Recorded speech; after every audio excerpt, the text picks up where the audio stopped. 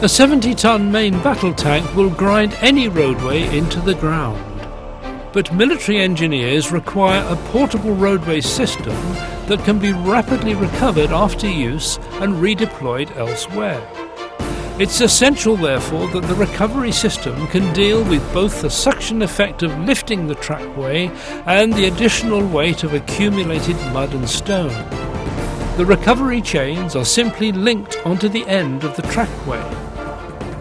During recovery, the trackway is deliberately inverted to allow mud to fall away from both upper and lower surfaces.